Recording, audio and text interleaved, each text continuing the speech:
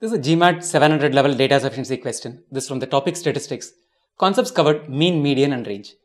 What is the range of 5 distinct single digit positive integers if their average is 5? As always, we have two statements. Let's look at the statements in a while. Let's quickly understand what this question is about. This question is asking us to compute the range.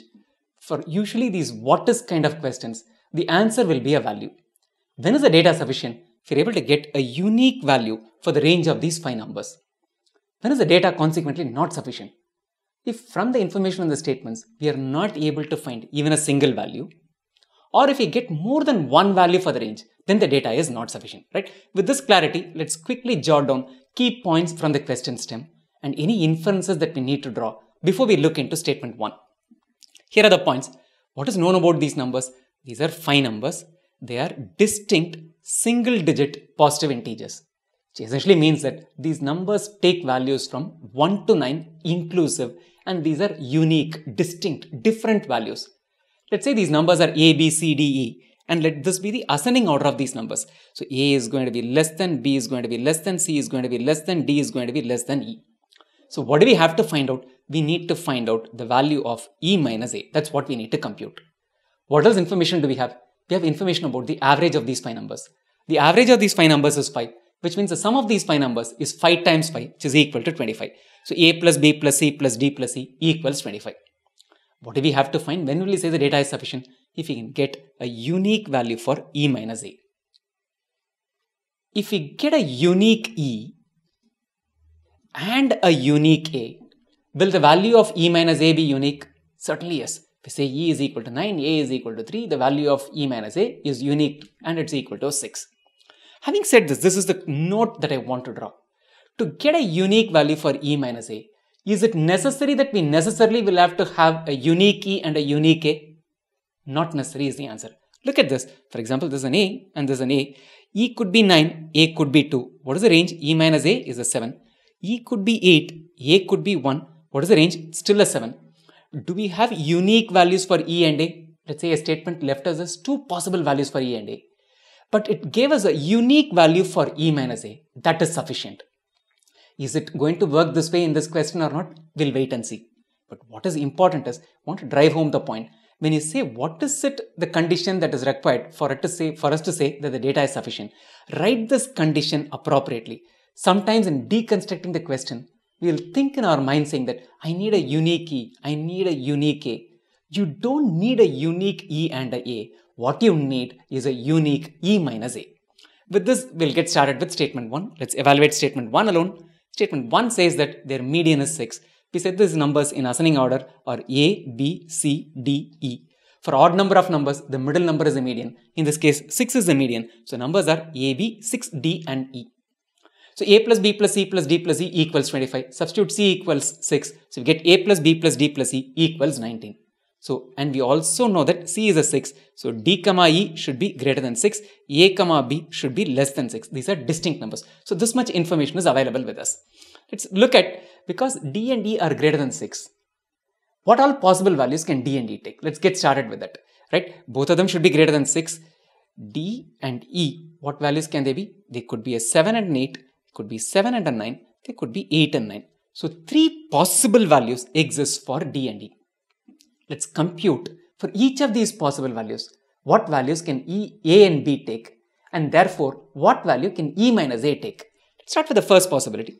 If all of these three possibilities give us a unique value for the range, data is sufficient. If we get more than one value for the range, then the data is not sufficient. So the framework is clear for us now. So I'm going with the first possibility, 7 comma 8. So in the 7 comma 8, the value of E is equal to 8. 7 plus 8 is a 15. Let's plug it in here. We have A plus B plus 7 plus 8 is equal to a 19. This value is a 15. Take it to the right hand side. So we get A plus B is equal to a 4. A and B are less than 6 because C is a 6. A and B are single digit distinct positive integers. The only value of A and B that will satisfy this is when A equals 1 and B is equal to 3. We know the value for E as 8 in this option, in this possibility then the value of A works out to a 1. So what is the range if D and E end up being 7 and 8? the range is 8 minus 1 which is equal to 7. So if 7 and 8 are the values for D and D, our answer for the range is equal to a 7. Let's look at the second possibility. Second possibility is this could be 7 and 9. So E obviously is 9. So A plus B plus 7 plus 9 equals a 19. 7 plus 9 is a 16. Take it to the right hand side. We'll get the value of A plus B to be equal to a 3. A and B are less than 6 single digit distinct positive integers. The only value that will satisfy this is when A equals 1 and B equals 2. So what's the value of A? Unique value for A is a 1. What's the range in this case? E is a 9, A is a 1. So E minus A is equal to 8. So if D is a 7 and E is a 9, the value for the range is an 8. Do we have a unique value for the range from statement 1? Sometimes 7, sometimes 8. We needn't even look at the third possibility right now. As long as we haven't got a unique value, we can say that statement 1 alone is not sufficient. Eliminate answer options A and D. We are down to B, C or E. Let's look at statement 2 alone. If that's sufficient, we'll go with B. Otherwise, let's combine. But before that, let's summarize statement 1 in a printed form in the next slide. Values that D and D can take are these three possible values. Let's start with the first possibility of D being a 7 and E being an 8. So A plus B plus D plus E, that's a starting point, which is equal to 19. Substituting D and E as 7 and 8, we get A plus B equals 4. A and B less than 6, distinct positive, single digit positive integers. So A equals 1 is the inference that we draw. If A is a 1 and E is an 8, the range is equal to 7. So this is one possible value. For the second possibility, we went with D and E being a 7 and 9. We got the value of A plus B to be a 3. Therefore, A still maintains to be a 1 E is a 9, therefore the range is an 8. Last case, possibility 1, range was 7. Here the range is 8. We don't have a unique value for the range. So statement 1 is not sufficient. Quickly, just spend 1 minute on the third possibility, which is when D and E are 8 and 9. If D and E are 8 and 9, A plus B works out to a 2. Two distinct single digit positive integers will never add up to give us a value of 2. So this is an infeasible one. We don't even have to bother about it. Statement 1 alone is not sufficient. Eliminate answer options A and D. We are down to B, C, or E. Let's look at statement 2 alone. Statement 2 tells us the following information. The average of the three largest among these five numbers is 7. Which are the three largest numbers? C, D and E. Their average is a 7, which means these three numbers will add up to C plus D plus E is equal to a 21. Consequently, what will be the value of A and B? Sum of A, B, C, D and E is equal to 25. C plus D plus E is equal to 21. So A plus B should be equal to 4. What values of A and B, single digit distinct positive integers will satisfy it? 2 plus 2 obviously is not possible. They are not distinct. So 1 and 3 are the only set of values for A and B, which means A equals 1 is something that we can deduce from statement 2. A is equal to 1.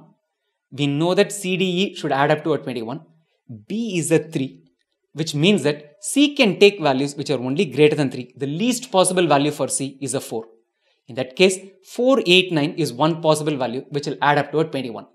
C becomes a 4. D plus C should be equal to 17 the only possible values when they will add up to a 17 is basically 4, 8 and 9. Nothing else will work, right? Next, C could be a 5. In that case, it could be a 7 and 9. C could be a 6. In that case, it's going to be a 7 and 8. So C, D, E have these three possible values. A has a unique value which is equal to 1. So what will be the range? If I look at 6, 7 and 8, then the range, because E is equal to 8, A is a 1, range is equal to 7. Let's look at 5, 7 and 9. In this case, E is equal to 9, A is equal to 1, range is equal to 8. Do we have a unique value for the range? We don't even have to look at this. In this case also the range is going to be equal to an 8. We don't have a unique range from statement 2. Statement 2 alone is also not sufficient.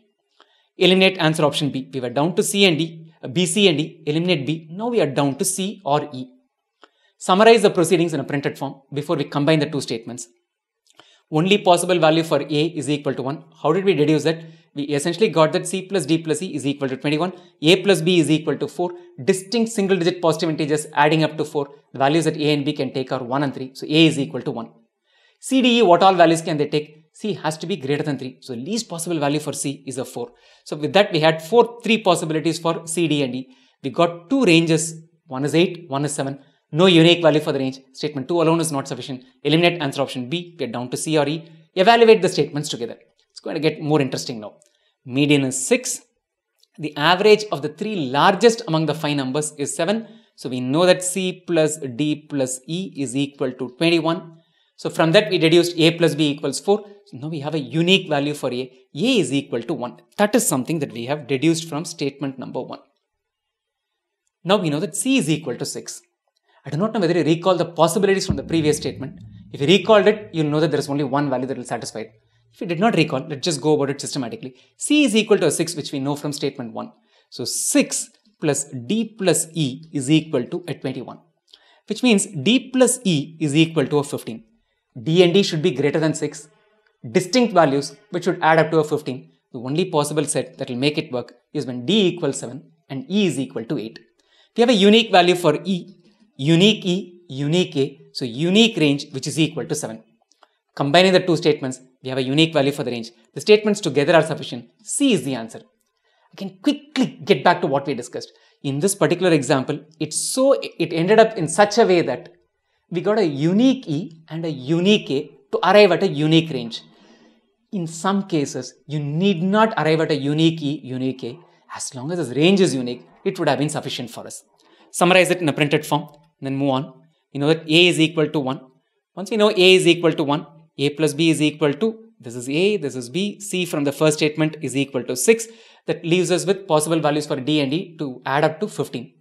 D and D should be greater than 6 distinct values. What will make it work? The only value that will make it work is when D equals 7, E equals 8. So unique value for range is equal to 7. Statements together are sufficient. Eliminate echo, we are down to C. C is the answer to the question. Before you leave, two things. Sign up as a trial user at wzko.in slash core. It's one of the most comprehensive online GMAT course. Get started with a free topic, statistics and averages. Build momentum to your GMAT preparation. Subsequently, pay up and unlock the remaining topics. Lastly, subscribe to the channel youtube.com slash wizako and spread the word among your friends who are preparing for GMAT. You may also choose to join this channel as a member for a small monthly fee and enjoy member only perks that come with it and will help you boost your GMAT preparation.